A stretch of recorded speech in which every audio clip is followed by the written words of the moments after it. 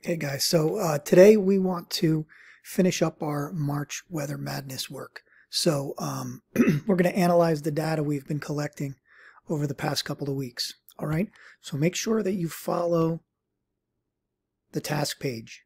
Okay, by the end of the day, you want to make sure you in, you uh, submit two assignments: the Weather uh, Madness daily assignment, the collecting of the data, and and analysis sheet. Okay, so the first thing it says is to gather your March weather madness data.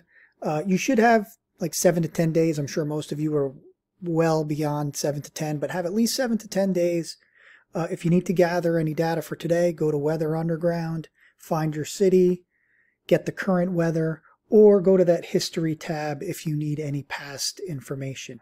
Okay, so just for that, remember, if we click on that Weather Underground, find your city, let's say we're at Livingston, it has our information right in here for the current day. If you need like dew point and humidity, you can go down to this bottom part where it says additional conditions. Okay, and if you need any past information, you're going up to this tab where it says history. Clicking on that, going back to the date you need, and then clicking view. And again, it's going to, if you scroll down, it's going to kind of give you a summary and some some times and stuff. So if you want to find that specific time that you've been kind of gathering your information, um, that is fine. Okay. Um, so I have some data from the past. Okay. I have a lot of information. Like I said, you don't need that much. If you have like, like I said, seven to 10 is perfect. All right. So we want to start analyzing this information. So I'm just going to highlight a little bit here. Uh, so first say 12 days. Okay. So So these are the uh, questions we want to answer. There are four of them. Okay, like I said, we want to analyze the information. It's not something we do all the time. It's kind of this is this is our first practice with it, so don't get stressed out about it. But I really want you to try to look for, like it says here, analyze the data you have collected, see if to see if there are patterns or connections between the information. Okay, so that's basically what we're going to do. So what I'd like you to do is to choose like two, three columns to compare, maybe highlight them so that the information stands out better. Uh, when you're done comparing, uh, you can unhighlight them. Okay, so some things to look for. You know, compare the high and low temperature. Is there like a pattern? Is there a consistent range that happens? All right, so if I'm going to look at that high and low temperature here, right? Um, one of the things that you can do, which is pretty cool, is you can insert a column in between and then you can kind of figure out what that range is, right? And then you can kind of see, oh, is there a pattern here? So like between the high and the low temperature, uh, it was 37 one day and then 22 was the low. So that's about 15 degrees. So I'm going to put in 15 there. The next day was also about 15. So wow, right here, I'm already, just by looking at that little bit of data, I'm kind of getting, kind of getting a nice little pattern here that I'm noticing, right? So if I want to compare, I should have highlighted, I apologize. Right, I could go here and uh, um, go to fill. Right, and compare my columns. Makes it nice and makes it nice and easy.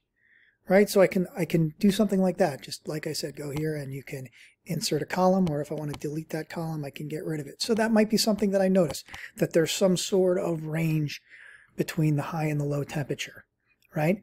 Maybe maybe I'm not looking at the high and low. Maybe I want to look at the, the skies. Maybe this time of year there's a specific pattern that's happening in terms of the sunny skies, or maybe it's a rainy time. All right. So um, just I want you to analyze the data. Look at the information. Does it kind of give you any any information, right? So for number one, patterns, connections, right? Okay. The next column, the next uh, question, I want you to compare the air pressure and the observation. So uh, yesterday you did some work with air pressure and what the difference between high pressure and low pressure is. Um, so take a look at those two things. You have your um, air pressure column. Now these these numbers are pretty close. They're not. It's not like a huge range in a number. But is there some kind of pattern that you see here with the air pressure and what's happening in the skies? Right? If the number's above 30, is it sunny? If it's below 29, is it is it uh, rainy or cloudy or whatever? What do you notice? Okay. So take a look at that one for number two. Now number three is a little more complicated. Okay, here's where we want to compare three different areas. We want to compare the current temperature and the dew point. Okay, and then we want to look at the humidity. So let me get rid of um, those highlights. All right, guys, so we're going to take a look at that uh, dew point. So the compare the, the dew point and the current temperature. So I'm going to um, hide this column. I'm going to hide the high and low temperature column um, just to kind of make it easier to to see. I'm going to keep that humidity in there. And we can always unhide. All right, so we want to take a look and compare the current temperature and the dew point. And see, again, we were kind of looking for that range when we were looking for the high and low. What's the range here? Is it are they are the two numbers very far apart or are they close together? Right? So you're going to want to, for, for that third question, you want to compare those two, all right? Um, after you look at the temperature and the dew point, then look at the humidity, right? So we have these two numbers and current temperature is 39 degrees, the dew point is 18. So that, that's about, what are we talking, 20, 21 degrees away, and the humidity is 36%. Okay? Is, does that kind of stand the same? You know, is that kind of the same for the next one? 33 degrees of current, 12, so again about 21 or so, and it's 33%.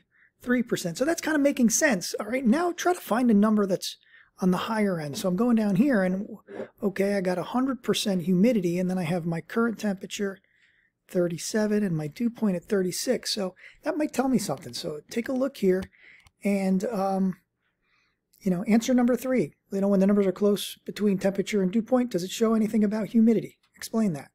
Okay. Now, finally, for number four, based on the data you collected, can you make any inferences about the climate or the long-term weather of this place? Okay. So just generally uh, look at your columns and see if you can, um, you know, find any just general information about what you're noticing within the data. Okay, once you're done with um, the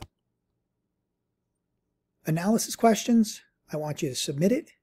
Okay, I also want you to make sure that once you finish that, the uh, daily data collection, you submit that as well, and we're done with this, and we can kind of move on to some other good stuff with weather. All right, so again, do your best with this. All right, and I will talk to you guys all later.